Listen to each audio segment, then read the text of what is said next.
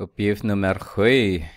Eh, lös ekvationen exakt, det vill säga, det är ingen miniräknare. Så ska vi börja. A först. Där.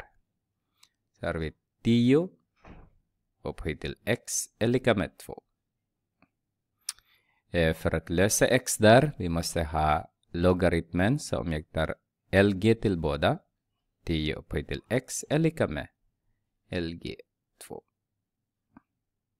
Och den där måste gå ner, som vi har sagt förut. Så x LG 10 är lika med LG 2. Och LG 10 är 1. Så har vi x är lika med LG 2. Vi tar B. Vi gör exakt samma. X upphöjt till 10 är lika med två, Jag menar exakt samma. Skriva av den menade jag. Eh.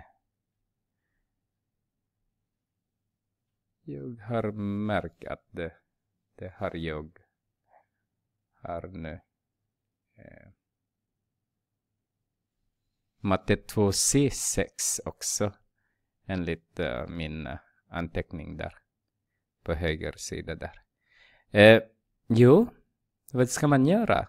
Jo, tar man den där tionde roten ur, eller mer matematiska tar man ta en tiondel upphöjt till en tiondel upphöjt till en tiondel. Så att den här blir 1 så har vi x är lika med 2 upphöjt till en tiondel.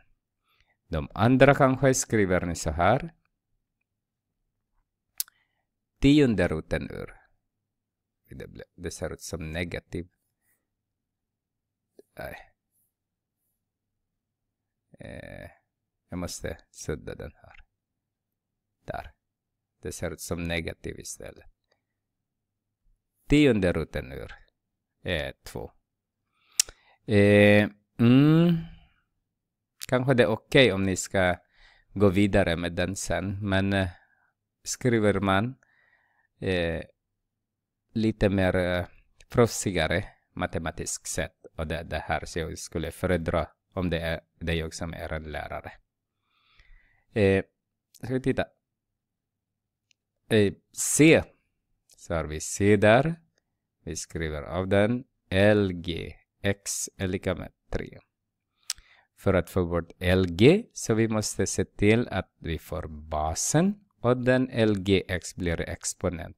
Och exakt samma som vi ska göra här också. 10 upphöjt till 3. 10 och LG, de tar varandra så har vi X är lika med 10 upphöjt till 3 eller X är lika med 1000. Ska vi ta D så har vi x upphöjt till 2 minus eller subtrahera med 5 är lika med 0. Jag vill inte ha negativ 5 där, så där är jag med 5. Båda ledet då, leden, x upphöjt till 2 är lika med, den här blir 0. Så har vi bara 5.